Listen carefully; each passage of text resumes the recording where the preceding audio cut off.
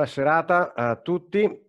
Eh, con estremo piacere ho, ho, l'onore di presentarvi un amico, un brewer, eh, tutto in contropressione ultimamente, mi pare, perché sennò poi si offende qualcuno, il nostro amico Maurizio Romiti dalle Marche. Ciao Maurizio, come stai? Ciao Doc, ciao, benissimo, grazie, è un piacere, è un piacere essere qui con te. Noi siamo un brewer, no? E un brewer è la passione, no? E quindi ci porta a fare un sacco di cose. Però tu mi devi raccontare come ti è nata questa passione, cioè quando hai cominciato e hai deciso che era il momento di fare birra in casa.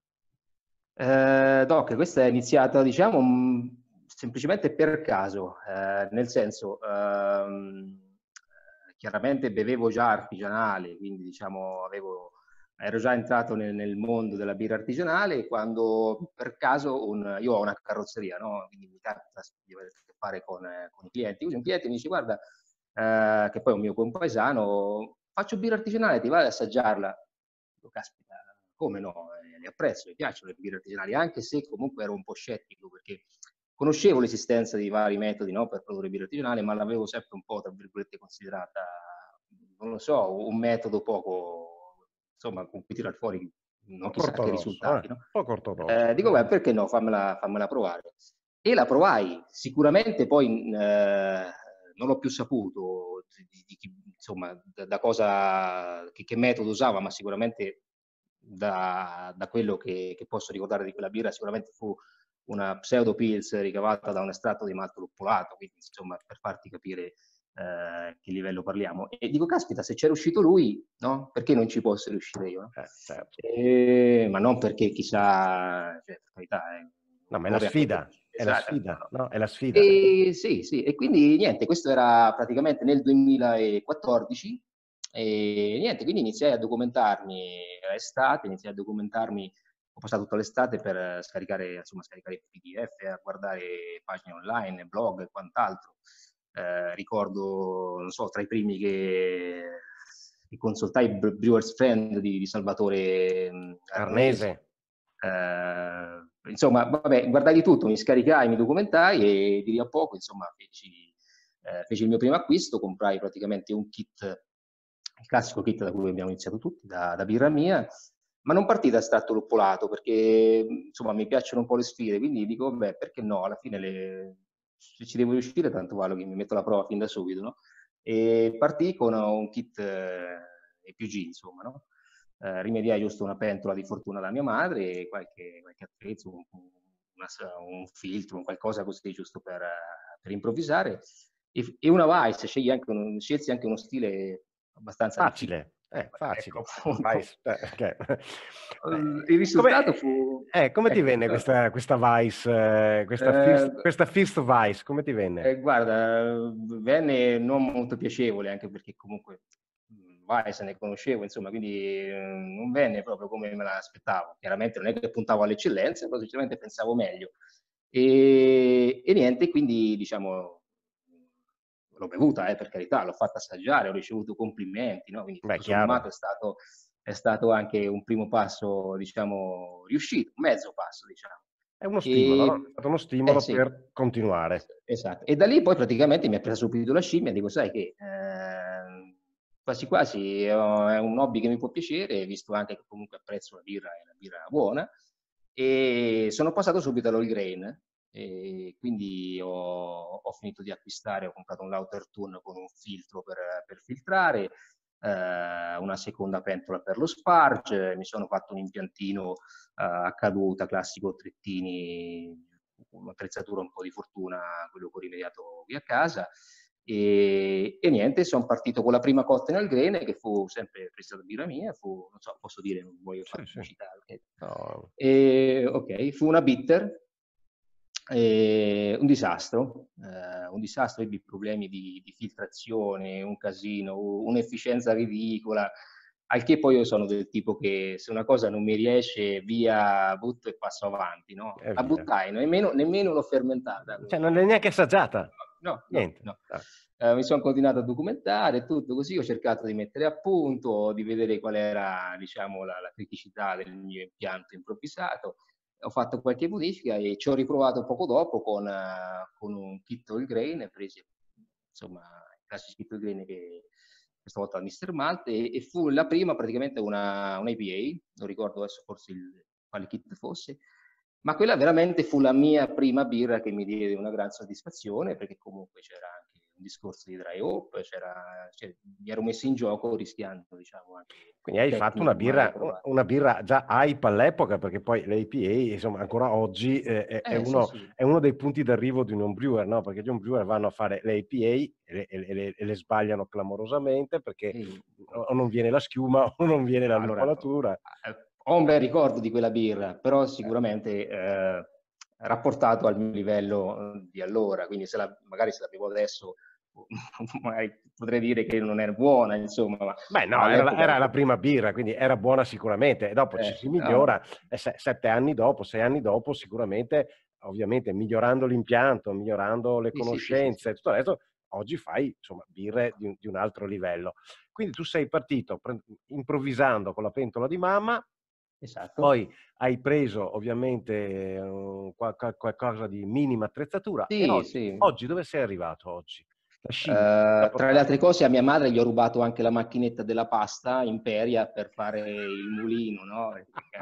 no? Eh, e, e questo appunto... detto, non te la puoi andare a comprare no, di... no vabbè, ne, ave- ne, aveva una in più, magari la teneva lì come so, regalo per, no, per i figli. Era una riserva. Io, io, l'ho presa come regalo, ma ci ho fatto altro. Ma lei sapeva e... già che dovevi far birra, per quello l'aveva messa eh, da sì, parte. Sì, sì, dai. Ah, beh, può darsi. E, e oggi e dove sono arrivato? Dove sei arrivato oggi con la no, scimmia? La scimmia non si ferma mai, lo dico sempre, la scimmia è diventata un gorilla e non si è mai fermata in questi anni, tant'è che lo dico spesso, il mio impianto non è stato mai lo stesso per più di tre cotte di fila, ma non è una cavolata, è la realtà, perché sto sempre lì a modificare qualcosa, ad aggiungere una valvola, a modificare, che ne so, aggiungere un rubinetto, a fare qualche piccola modifica anche banale, ma eh, giusto così perché non riesco a star fermo, no? Insomma, quindi, quindi birra work in progress. Sì, sono arrivato ad avere un impianto trettini abbastanza automatizzato con eh, mesh gestito da, da un PID, eh, ho, faccio mesh ricircolo con rimstub e resistenza, ho una buona efficienza, faccio cotte dai 30 ai 40 litri finiti in base all'esigenza e, e niente, ultimamente faccio tutto in, in isobarico eh, sfruttando la contropressione. Quindi, eh, mi sono, sono, soddisfatto del livello che ho raggiunto, ma, ma sicuramente non mi fermo qua, nel senso no, è l'obiettivo sì, di tutti. Migliorarti, devi migliorarti, chiaro. Ascoltami, qual è uh, delle birre che hai fatto, al di là della prima APA, ma di quelle che fai ultimamente, eh, che trovi piacere a rifare e che devi trovare sempre il difettuccio per migliorarla, perché pur essendo una birra valida che magari a qualche concorso ti ha dato soddisfazione, però è una birra qui, che, su cui tu punti per avere un certo risultato. Guarda, mh, forse farai fatica a crederci, ma io le mie birre no, non è che le, che le, rifaccio così spesso, cioè non c'è uno stile, eh, c'è una birra che dico ok la devo migliorare, la rifaccio, la metto a punto, cambio, cambio spesso, cioè o meglio anche la singola birra che potrebbe essere, ti dico blanche perché poi dopo te ne parlo, eh, se la devo rifare non è che magari la, la, rivedo tutta, capito? Non sto lì a perfezionare, quindi purtroppo è un mio difetto, dico perché... No, non è un tuo difetto, anch'io sono così. Se mi chiedono che stile fai, non lo so, perché io faccio una birra, la volta dopo ne faccio un'altra, poi ne faccio un'altra, cioè io avrò fatto 200 cotte, ma credo di aver fatto 200 birre diverse. La stessa eh, birra al miele d'arancio l'ho modificata sempre, perché ogni volta aggiustavo il tiro, perché sì, mi è piaciuta, però... E quindi non è mai uguale, no? Quindi è, ma secondo me è il, fascino, è il fascino dell'homebrewer. Clonare una birra per fare la birra che fanno altri, hai perso la poesia. La fantasia, ogni volta mentre stai facendo la birra e proprio mentre la fai decidi che a fantasia, a estro, decidi che devi fare un cambiamento, secondo me è la cosa più bella di questo. Di questo. Non sei dentro uno schema. Fortunatamente sì, non hai la necessità di produrre qualcosa che sia sempre uguale.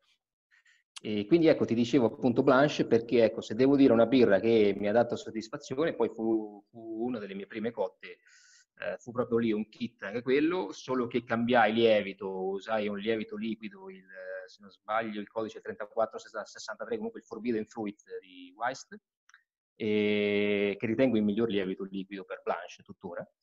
Cambiai la speziatura, quindi cambiai insomma le quantità di coriandolo e scorza d'arancia, e venne una birra veramente sopra ogni mia aspettativa e tuttora gli amici che l'assaggiarono no? mi dicono ah ma buona come quella Blanche di allora. Beh, ho provato, io non, non amo moltissimo le belga, mm, però la Blanche l'ho presa oramai un po' come sfida, eh, forse tra le belghe è quella che apprezzo magari un po' di più eh, insieme alla Saison. L'ho presa un po' come sfida perché mm, appunto tutti mi dicono sempre ah ma come quella di allora, ah ma come quella di allora, allora dico ci riprovo a farla. Beh, giusto. È venu- non è mai venuta a quel livello. Eh, Beh, proprio però, perché forse... però la bevono? La bevono? Sì, sì, ma eh, allora basta, se la bevono non è un problema. Tra le birre italiane, tra le birre italiane dei, mm, dei birrifici artigianali italiani, qual è la birra a cui tu puoi fare riferimento non per clonarla chiaramente, ma che ti dà quella di, di voglia di mh, mhmm, fare qualcosa che è, è, stimoli la tua fantasia, la tua creatività eh, e ti porti a dire aspetta che devo fare una cotta perché dopo aver bevuto questa birra ho voglia di fare una cosa immediatamente. Ma oddio, è una domanda difficile adesso da rispondere così sotto i piedi, perché vabbè. Cosa ti viene in mente? La prima cosa che ti viene eh, in mente. Posso dirti che le mie birre in generale nascono tutte un po' da, dagli assaggi che faccio diciamo in giro, da, anche dagli homebrewers, insomma, certo. dagli assaggi che faccio. Eh, ad esempio, posso dirti per farti, non so, darti un esempio, mh, la Vienna Lager di, eh, di Cane di Guerra eh, mi è piaciuta molto e l'avevo assaggiata a Rimini a Beer Attraction, credo tre anni fa. E mh, sono tornato a casa, dico cavolo, devo fare una Vienna Lager. E poi consultandomi anche con un birraio di, di birrificio qui nella mia zona, che anche lui fa una Vienna Lager buonissima, col suo aiuto anche ho messo a punto diciamo, una, una ricetta e, e, anche quella mi ha dato una gran bella soddisfazione. Ci ho vinto anche un concorso, cosa che io i concorsi ne faccio veramente pochissimi, ne ho fatti pochissimi. Quella è andata bene, è stata una birra molto, molto riuscita, poi dell'anno scorso, quindi abbastanza recente. Eh, quindi mh, la Vienna di Cane di Guerra, ad esempio, ho un bel raccordo anche legato a questo discorso qua, perché mi è riuscita la birra. Altro, non so, io ad esempio amo molto le, le basse fermentazioni, no? eh, quindi anche la tipo Pils, eh, insomma adesso così mi prendi un po' la sprovvista. Insomma, eh, allogati, Agostino Arioli, cioè stiamo parlando insomma di... Sì, no, no, ma stiamo parlando di birre, diciamo che eh, quando le bevi, di quando le bevi dici, ah, porca miseria, sì, un giorno potessi fare uh, una birra del genere. Anche solo, no? anche solo avvicinarmi, solo avvicinarmi che mi ricorda che è, c'è, qualcosa. Ascolta, attualmente cosa c'hai nei fermentatori? Attualmente nel fermentatore c'è una Rauch che ho fatto lunedì, quindi proprio l'altro ieri, eh, con un uh, malto smoked fumicato praticamente sul legno di ciliegio.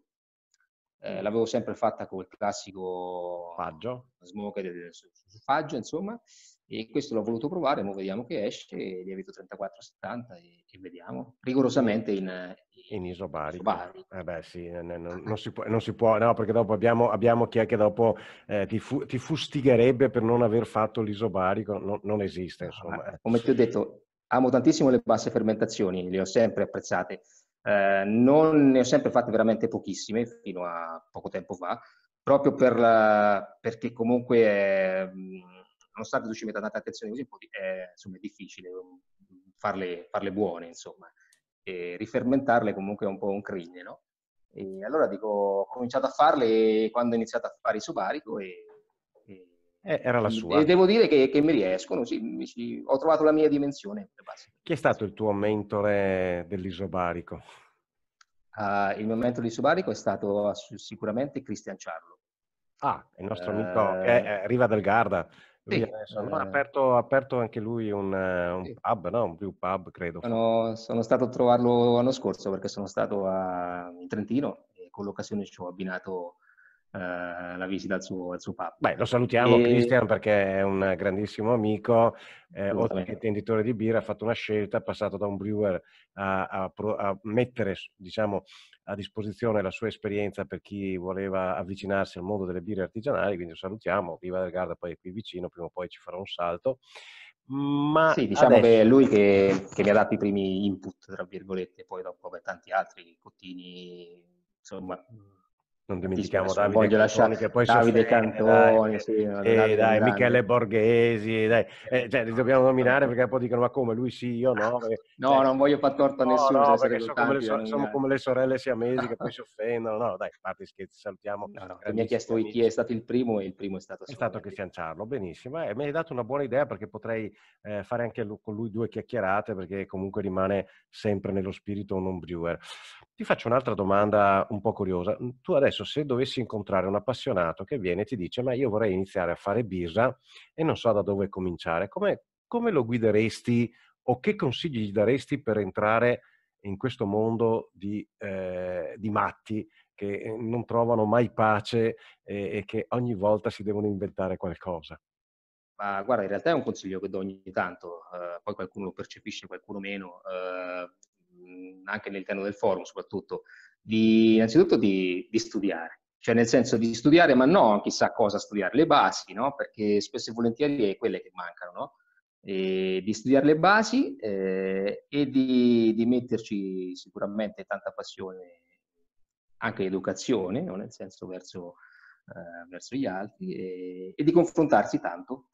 E, e di partire assolutamente, secondo me, io l'ho sempre detto, poi non me ne vergogno, non perché l'ho fatto io, ma secondo me partire con i malti lupolati sapendo che comunque quella è una strada che lascerai. Eh, io ho sempre consigliato di partire con l'oil grain, perché comunque oil grain non vuol dire per forza uh, avere l'impiantone o avere chissà cosa di attrezzatura o di spazio, cioè veramente basta, basta un piccolo spazio, tre pentole e stai a posto.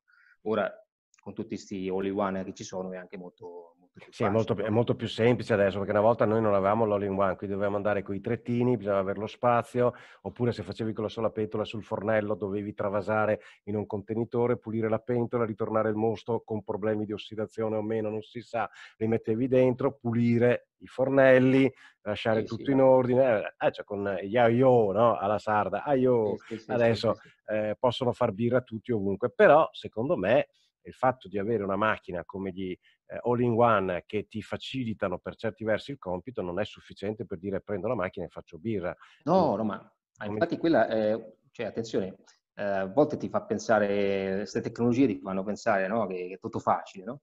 In realtà così non è, appunto ti dico, comunque la prima cosa fondamentale è un minimo di studio, le basi, insomma, no? di capire come gestire una fermentazione, quali sono, diciamo, condurre un ammostamento, insomma tutte queste tecniche qua che noi diamo per scontato, ma per chi inizia assolutamente non lo è. Eh, quindi un po' di studio, magari come sono riuscito io e come è riuscito qualcun altro, poi chiaramente la prima cotta va nel lavandino, la seconda la bevi a denti stretti, come si dice, nel senso però alla fine la terza diventa godibile, eh, no? tiro, insomma, eh, no? dai. Quindi, quindi noi agli homebrewer possiamo dire che non devono cominciare spendendo soldi, soldi, soldi, perché ogni tanto qualcuno mi chiama e mi dice io vorrei fare birra, sto studiando, eh, sono qui che vorrei vedere, ho un impianto, ho visto 1500-2000 euro, ho detto perché devi spenderti questi soldi? Prenditi una pentola, mettiti un bazooka, hai due fermentatori e prova a far birra. Poi dopo se ti piace, pian pianino, Chiaro. se sei uno che è capace di, del fai da te, aggiusti e se no pian piano compri un pezzo alla sì, volta no, ma... e ti costruisci l'impianto. Ti dico assolutamente sì, sono, sono d'accordo con te. Insomma. Progetti per il futuro? La scimmia non, Beh, non, non lo so, non, al momento ho anche paura a, dire, a espormi, nel senso perché poi dopo un'arma a doppio taglio. Eh, no, non lo so, diciamo che a livello di, di, di, attrezzatura, non lo so, ora mi sono comprato anche quest'anno un fermentatore eh, un Unitank, quindi ho, ho, fatto un piccolo investimento anche lì, sono contento, era la cosa che volevo. Eh, quindi scimmie a livello di attrezzatura non, non credo. Eh, progetti a livello di birre così, mm. ad, es- ad, esempio, eh, quest'anno avevo, io ogni anno comincio con, con dei presupposti, no? con, eh, con le cose da fare, insomma, quest'anno con i buoni propositi c'è l'anno che dico, ah, quest'anno solo lieviti liquidi, e poi lo faccio veramente, magari ecco, esco un pochino agli schemi perché provo anche qualcos'altro. Uh, un anno ho detto solo basse fermentazioni, cioè quest'anno, e tant'è che sto facendo quasi solo esclusivamente basse fermentazioni, avevo detto per quest'anno, ad esempio, di fare anche il campionato Mobi, uh, avevamo fatto un team con dei ragazzi con cui condivido un gruppo WhatsApp, poi purtroppo, ad esempio, cioè, ad esempio no, ma, ma è saltato tutto per via di questa pandemia, quindi sarà una, un buon proposito del prossimo anno. Sinceramente, ecco, obiettivi futuri, non lo so, sicuramente migliorarmi. Devo finire un, il corso di un MBRI e fare il secondo livello, perché sto in attesa da qualche anno, non ho avuto più la possibilità di, di finirlo e Altro non lo so, sicuramente se mi fai questa domanda, se ci andiamo a rivedere tra qualche mese, sicuramente avrò speso dei soldi sull'impianto oppure avrò fatto chissà che scelte, non lo so, però ecco. Avrei cambiato eh, diametralmente, ti sarei messo a fare solo birre inglesi, eh, non lo so. Eh, sai che sulle inglesi, ad esempio, mi devo, eh, mi devo, mi devo affinare, sì, perché eh, che non sono facili, sembrano facili, sono no, facili no, da bere, ma nessuna non birra è facile. Ecco, questo è un concetto importante che vorrei che trasmettessimo agli appassionati, a chi vuole cominciare a fare birra in casa. La birra ha tante variabili, non è così semplice. Gli ingredienti sono semplici, no? Malto, acqua, lupoli, lievito e se uno vuole le spezie o altri ingredienti. Però per ottenere una buona birra bisogna avere padronanza del processo e soprattutto conoscere il proprio impianto, che sia una pentola, che sia due, che sia un all-in-one, che sia quello che sia, non è scontato.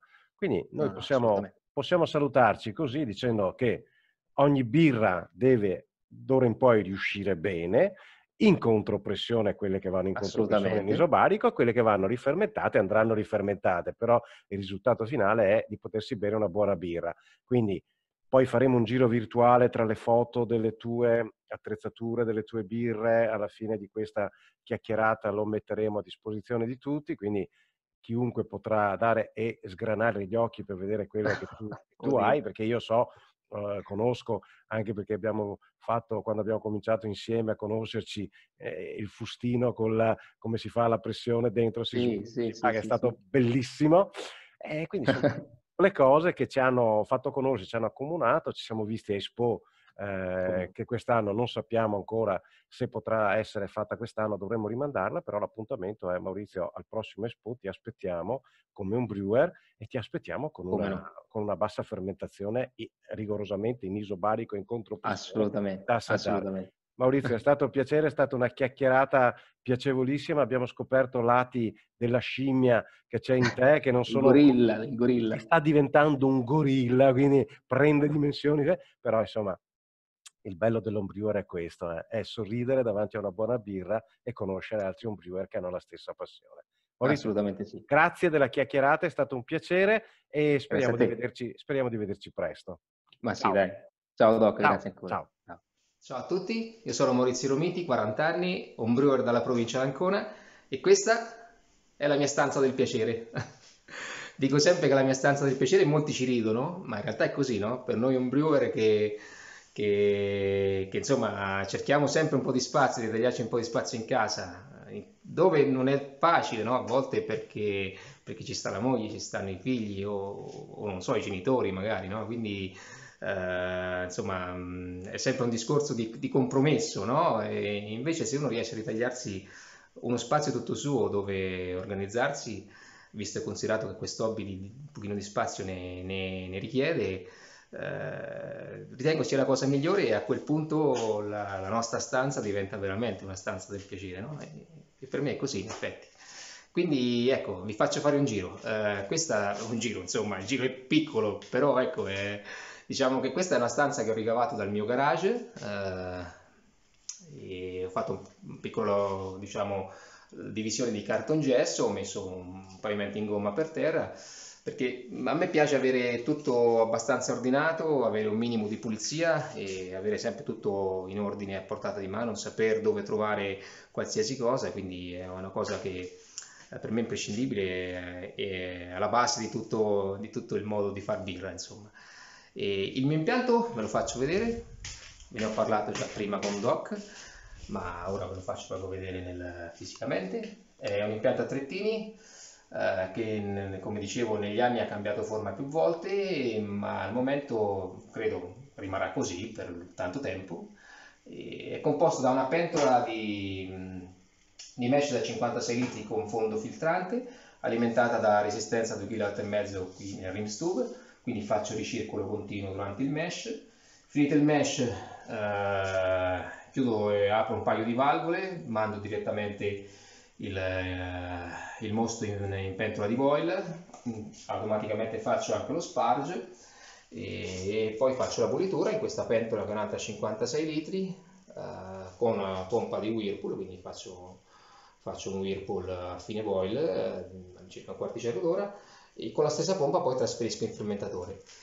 Il tutto è controllato da quel piccolo rudimentale ma funzionale pannellino di controllo con SmartPid e niente, la mia birra dall'impianto passa al fermentatore e al momento da circa eh, 8-9 mesi, grosso modo, ho preso praticamente un Unitank da 14 galloni con il suo chiller, è una scelta che eh, insomma avevo valutato da tanto tempo ma aspettavo il momento giusto per farlo per, insomma, per, sì, per, per, realizzare questo sogno, insomma, e, e niente, ora si sta, si sta, fermentando una rauca da lunedì sera e, e, niente, le mie birre, eh, finita la fermentazione, abbattuta la temperatura, passano tutte in fusto. Eh, ho trovato questo modo di fare che eh, praticamente è diventata la mia dimensione diciamo, di far birra. Io per tutte le birre, sia che siano ale che siano basse fermentazioni, procedo in questo modo. Birra finita, battuta la temperatura, spurgato tutto, eh, vanno tutte in fusto, ho comprato diversi fusti con Cornelius Keg da 19, da 9, da 5 e i fusti vanno in un freezer, in un freezer a pozzetto a temperatura controllata, che ultimamente ho anche dotato eh, di colonna aspiratura chiaramente perché da quel punto avendo i fusti diventa, diventa fondamentale. E come vedete li tengo tutti qui al freddo e, e a temperatura di 3 gradi quindi lagherizzo in fusto, faccio la maturazione in fusto e a birra pronta decido se spillarla o passarla in bottiglia. In bottiglia ce la passo con una riempitrice in contropressione, mi sono fatto questa linea di imbottigliamento, tra virgolette, è una classica riempitrice cinese che insomma da poco eh, implementata, automatizzata con hard pressure, un progetto a cui ho partecipato che probabilmente molti già, già conoscerete, e, e, le mie bottiglie a quel punto passano in un frigo, eh, un frigo che uso per tenere i lieviti, i lupuli e e chiaramente quindi anche le bottiglie e quindi mantengo la catena del freddo per tutte, per tutte le mie birre. Eh, questa è una cosa, dico, come dicevo, è, eh, ho capito essere la mia dimensione e mi piace tanto lavorare così perché posso decidere in qualsiasi momento di, di, imbottigliare semplicemente un fusto da 5 litri o un fusto da 9 o un fusto da 18, non imbottigliare niente, bermi tutto dal fusto. E inoltre mantengo la catena del freddo perché comunque trovo un bel riscontro su questa cosa anche nelle birre finite. Nella birra finita io da quando lavoro così trovo, trovo veramente un gran bel risultato, a prescindere dal tipo di birra. Eh. Per dirvi, ho infustato una Imperial Stout la settimana scorsa e sta lì insieme a, a una Pils, una Ls o qualsiasi altra cosa che, che ho infustato, insomma. Ah, giù in fondo c'è un piccolo fermentatore, secondo fermentatore che utilizzo per le cotte più piccole, già lo conoscerete praticamente tutti, questo è un fermentasaurus, ma l'equivalente del Fermzilla. Per chi non lo conoscesse voglio spendere solo due parole per, insomma, per parlarvi dei vantaggi di questo fermentatore. Innanzitutto non è vero che ci si può fare solo isobarico, ma è utile anche per fare birra da rifermentare. E è utile perché, perché si può fare, eh, anzi sarebbe da fare, eh, sempre la contropressione anche sulle birre da rifermentare, quindi con la stessa riempitrice si va a spingere con la CO2 la birra nella bottiglia già pulita con la CO2 perché è importante eliminare l'ossigeno anche sulle birre da rifermentare. Piccola parentesi, visto la mia eh, ossessione per l'ossigeno. E innanzitutto è anche molto didattico perché si vede tutta la fermentazione quando inizia il lavoro del lievito, quando c'è la tumultuosa, eh, quando inizia insomma a rallentare, quando inizia a sedimentare, insomma semplicemente guardandolo vi accorgerete che è ipnotico e semplicemente guardandolo vi renderete conto che, di, di, in che stato è la birra, vi accorgerete insomma del, che ha finito di fermentare, che è ora di imbottigliare semplicemente guardandolo. E niente, questo è il mio modo di far birra eh, qua, ah, qua, beh, qua dei scaffali con dell'attrezzatura varia là un altro scaffale dove tengo i malti qui un altro scaffale dove ci stanno altre cose e, e niente questo sono io progetti futuri ne avrei tanti tante idee il tempo a volte mi manca per, per, per tirare avanti tutto e ad esempio mi piacerebbe tanto lanciarmi un po' sul mondo sour, fare qualche fermentazione spontanea, ma al momento al di fuori di una sour riga che ho lì in Damigiana là fuori in un altro frigo, eh, non, non, ho tempo di, di far altro e spero prima o poi di, di imparare anche a imparare anche a lavorare su quel, su quel tipo di birra lì, insomma, ecco. Niente, spero di non avervi annoiato, stato, per me è stato un piacere, ringrazio Doc, ringrazio tutti voi e niente, dai, ci becchiamo su qualche forum o speriamo presto in giro su qualche manifestazione o in qualche festival, boh, non lo so, vediamo, dai. Ciao ciao a tutti!